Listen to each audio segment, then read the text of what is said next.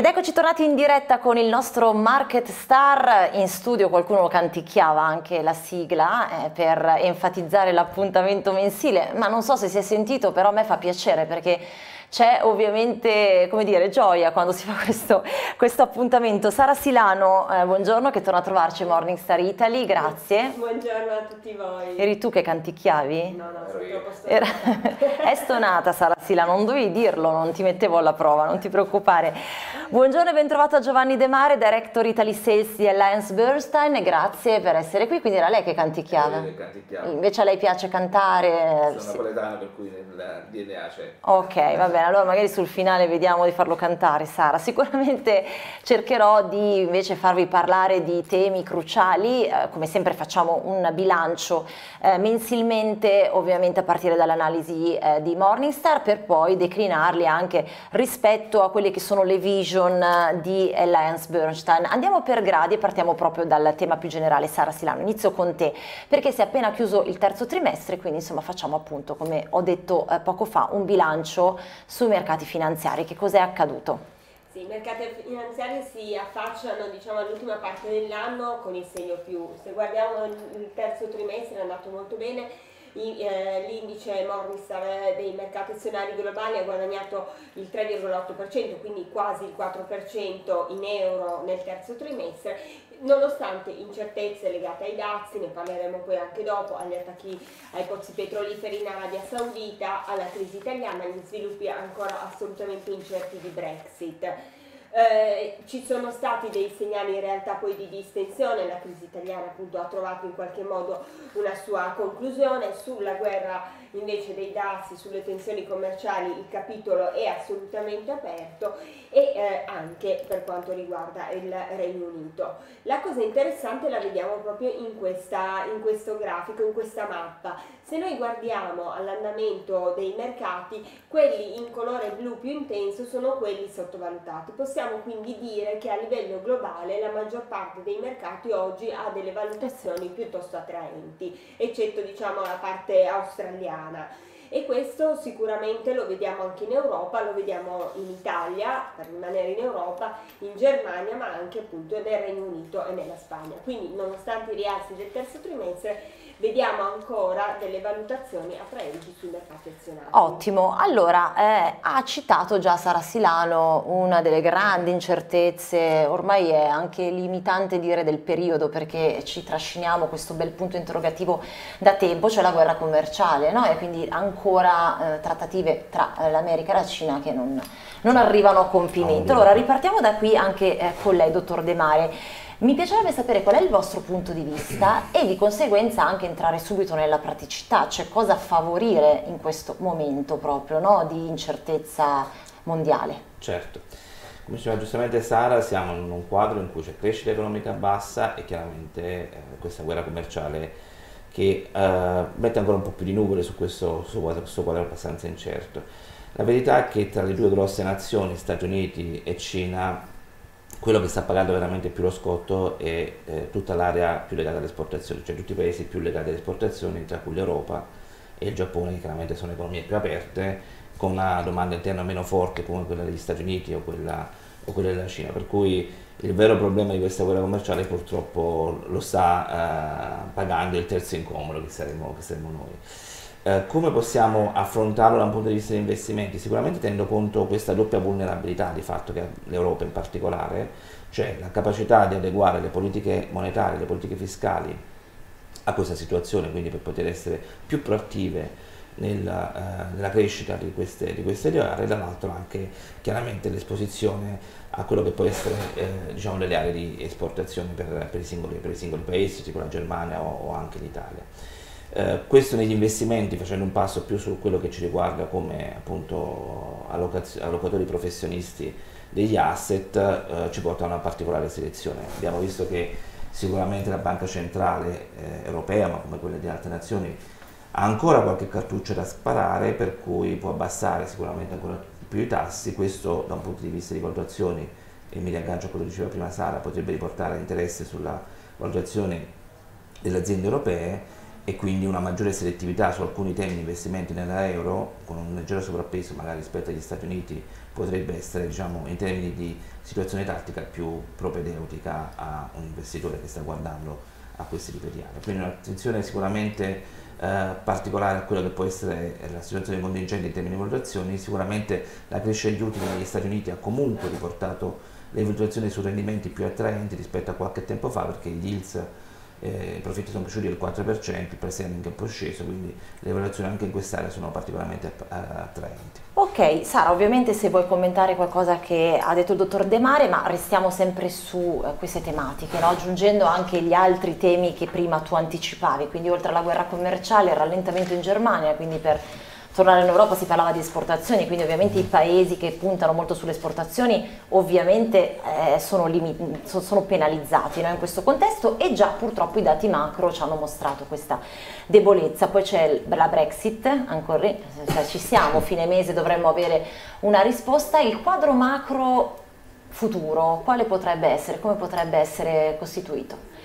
Alcuni eh, elementi da tenere in considerazione sono sicuramente quelli della politica monetaria che oramai ha utilizzato in Europa molte delle cartucce che poteva utilizzare nell'ultima riunione della Banca Centrale Europea, il governatore uscente ormai Mario Draghi certo. ha invitato gli stati dell'Unione Europea a intervenire con delle politiche fiscali, quindi è questa un po' la seconda gamba che dovrà affiancarsi per sostenere la crescita, quella che è stata finora la gamba fondamentale fondamentale della politica monetaria. Sì. Eh, secondo i nostri analisti di DBRS, appunto società che recentemente è stata acquisita da Morningstar, la crescita in effetti nell'area euro, come dicevamo anche prima, rimarrà debole nei prossimi mesi, non dobbiamo farci grandi illusioni, la Germania è effettivamente una delle cause, l'attività industriale in rallentamento, le guerre commerciali sono un'altra delle cause e poi appunto una uscita del Regno Unito senza accordo potrebbe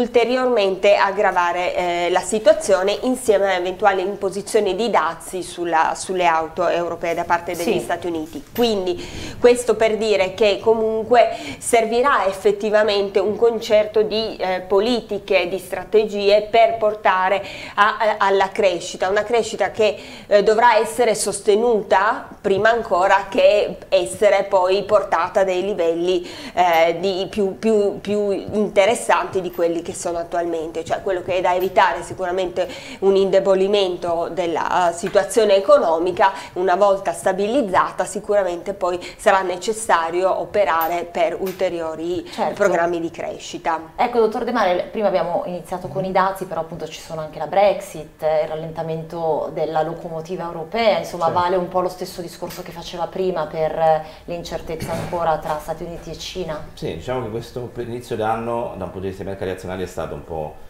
come dire, ehm, si è alternato tra incertezze da un punto di vista di crescita economica, dal punto di vista politico, dal punto di vista di quelle commerciali, ma al contempo l'animo, diciamo, all'interno diciamo, dei mercati finanziari è sempre bilanciato tra sentimento, quindi sì. da, da percezione di questi, di questi elementi e anche dalla mente, quindi dalle valutazioni effettive.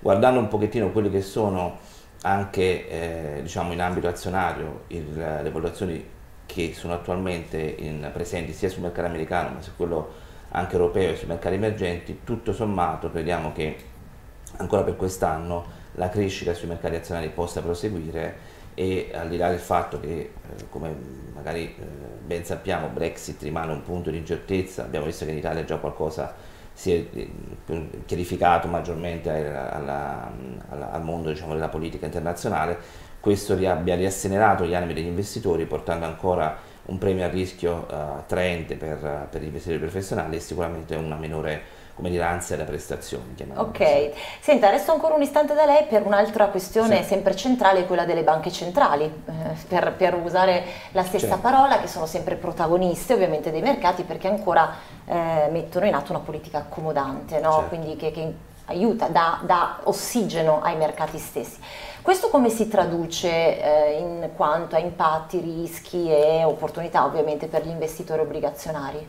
Beh, sicuramente per gli, per gli, obbligazionisti in area euro la politica monetaria accomodante possa diciamo, tra virgolette, far ritornare su una buona parte della curva dei tassi interesse per altre aree sicuramente per i mercati statunitensi, abbiamo visto che già lì i tassi, nonostante insomma, si progetti ancora di abbassare Uh, anche lì ulteriormente il livello, il livello, di tassi sono comunque sicuramente più interessanti se non lasciamo la copertura, quindi se lasciamo il cambio aperto su queste obbligazioni per l'investitore, per l'investitore europeo. E chiaramente stessa cosa vale per i mercati emergenti, dove c'è stato maggiore afflusso di liquidità, diciamo dopo la fuga dell'anno scorso un po' da quest'area, sui mercati emergenti in hard currency e anche sull'area corporate, che magari uh -huh. era mhm. stata per tanto tempo tralasciata abbiamo visto che ritorna un po' nei, nei portafogli degli investitori obbligazionari che erano solitamente uh, usi comprare uh, la parte diciamo, governativa, oggi si stanno spostando anche sulla parte societaria che sta diventando più liquida sicuramente rispetto al passato,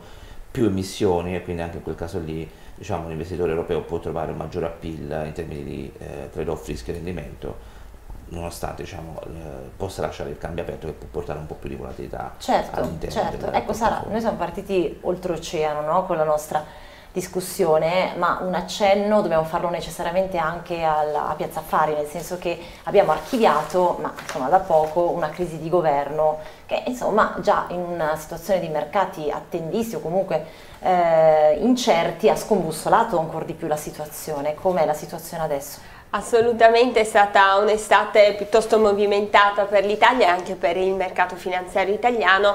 Eh, la situazione lo abbiamo visto dallo spread, quindi dal differenziale tra i titoli di Stato italiani e il, quello di riferimento tedesco, si è ridotto e questo sicuramente ha dato una boccata d'ossigeno sia ai conti pubblici ma anche ai conti delle banche.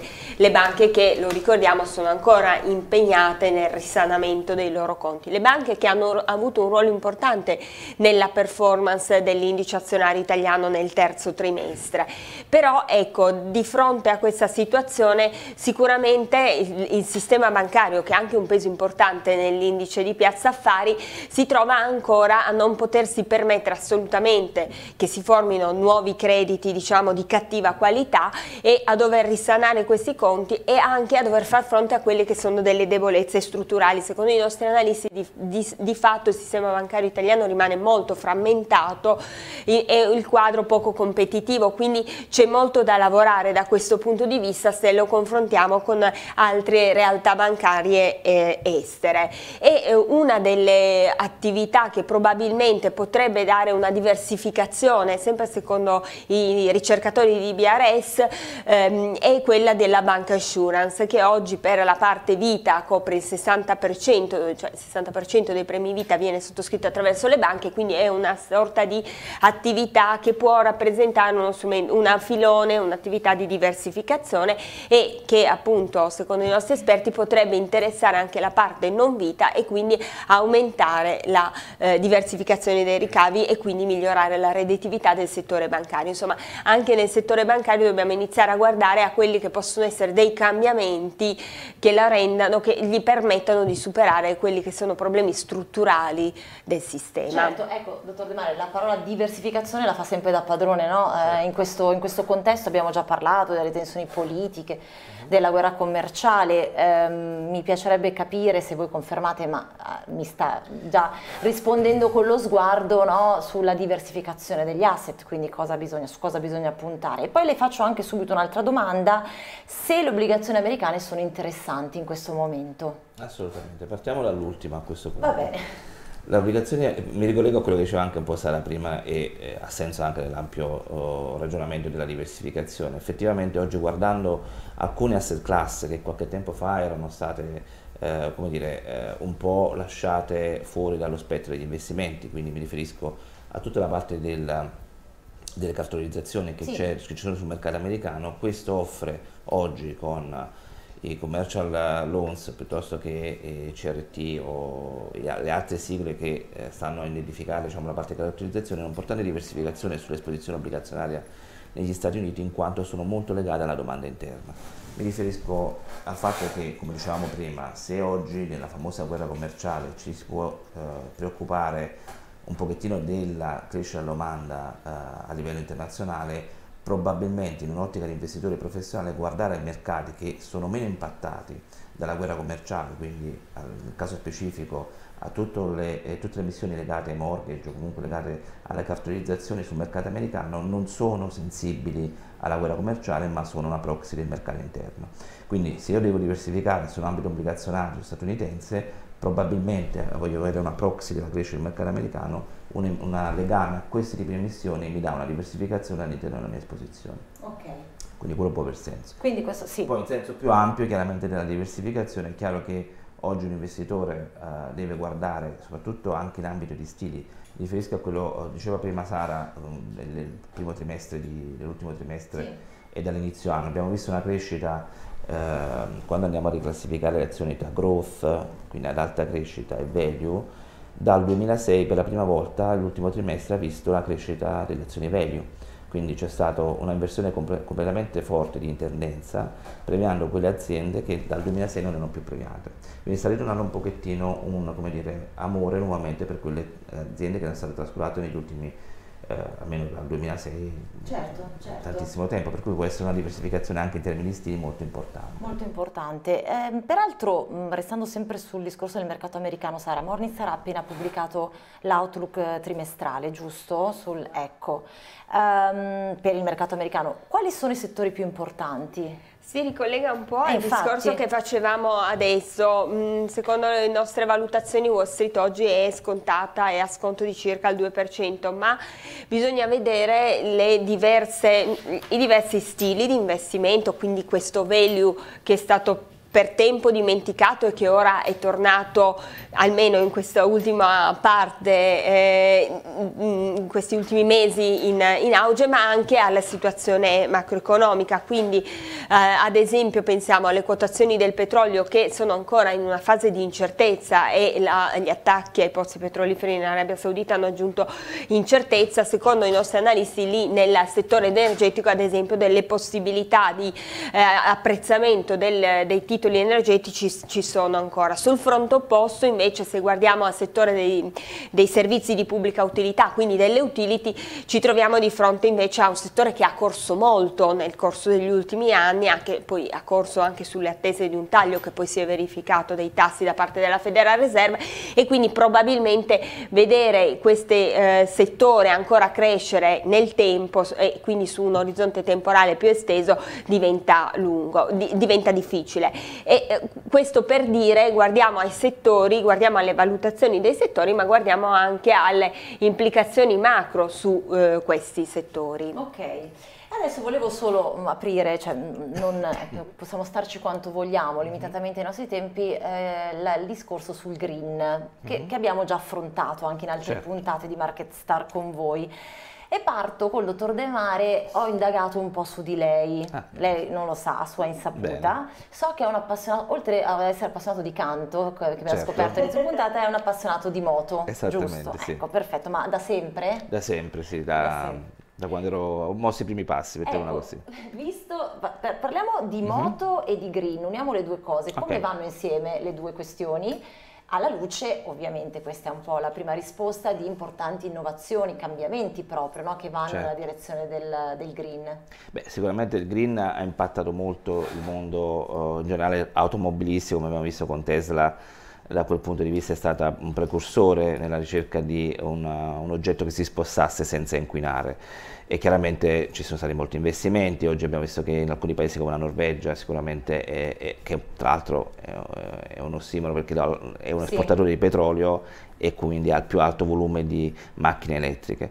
E quindi si sono mossi in anticipo rispetto agli altri. Tornando al mondo delle moto, lì eh, si ritorna un po' diciamo, dalla mente alla, al cuore e la passione diciamo, per i motori e quindi per, uh, per, l'inquinamento è un po' più difficile da ovviamente lasciare, appunto, appunto, però è chiaro, si combinano esattamente, eh, bisogna vedere in due modi, chi lo usa per la mobilità, chiaramente l'altro per spostarsi e chi poi ne fa una passione.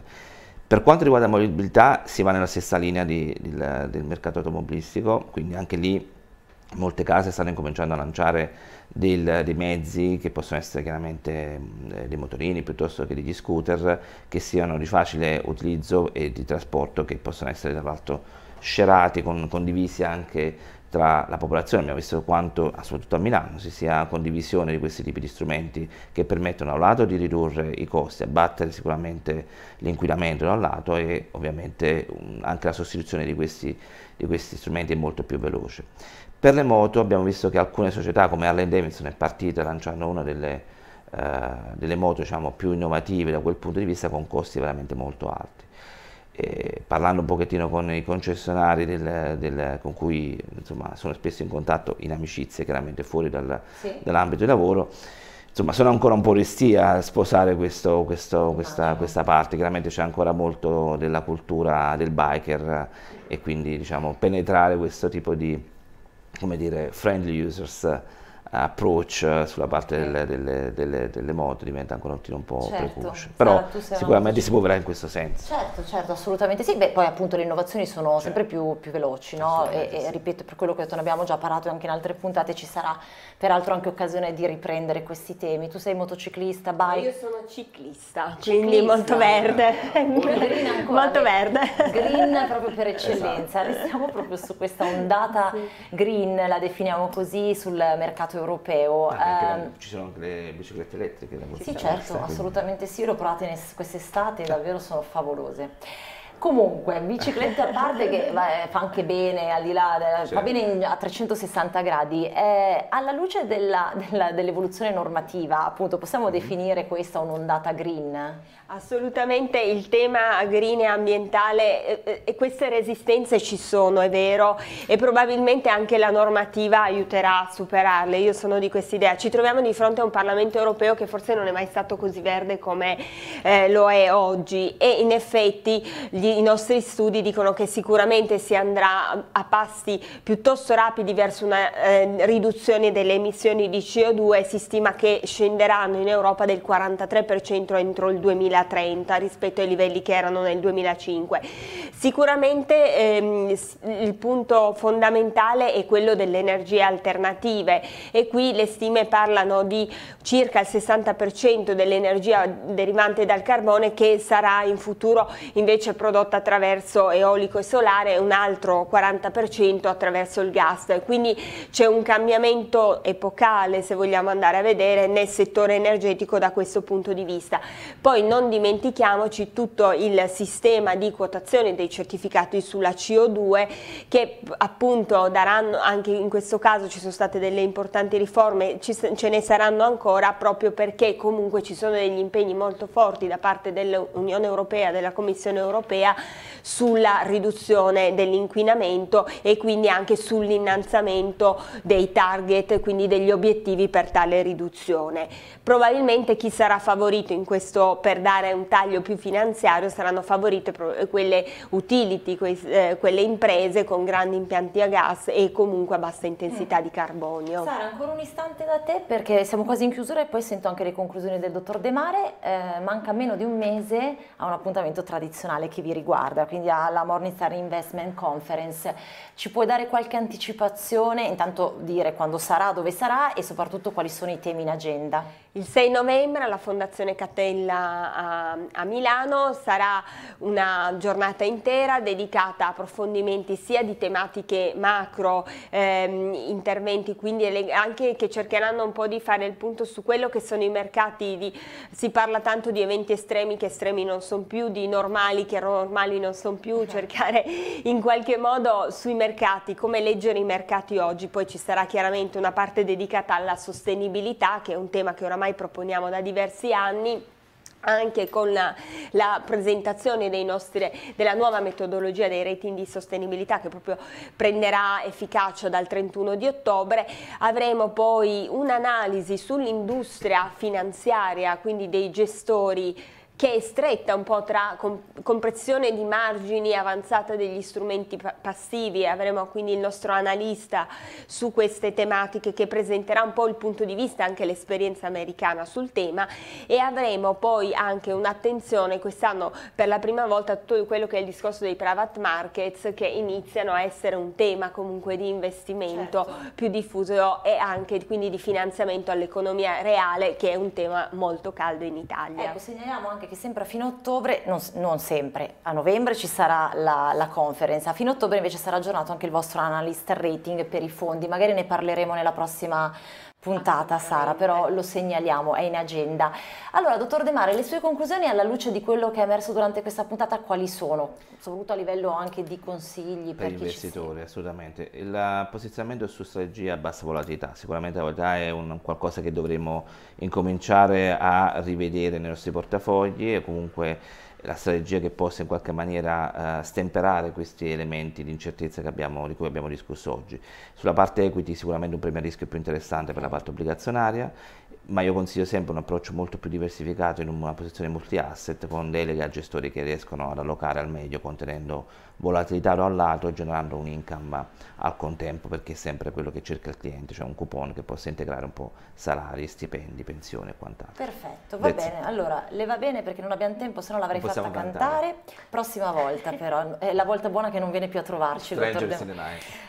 Oh, ha scelto anche la canzone, allora la prossima volta ricordamelo anche tu, eh, Sara. Assolutamente. Grazie a Sara Silano, Morningstar Italy, grazie che a continuiamo a seguire naturalmente con le analisi e naturalmente grazie a Giovanni De Mare, Director Italy Sales di Alliance Bernstein, per essere stati con me anche per questa puntata di Market Star. Grazie a lei. Andiamo in pubblicità, tra poco le analisi di Giovanni Borsi, quindi scriveteci se avete voglia di fare delle domande.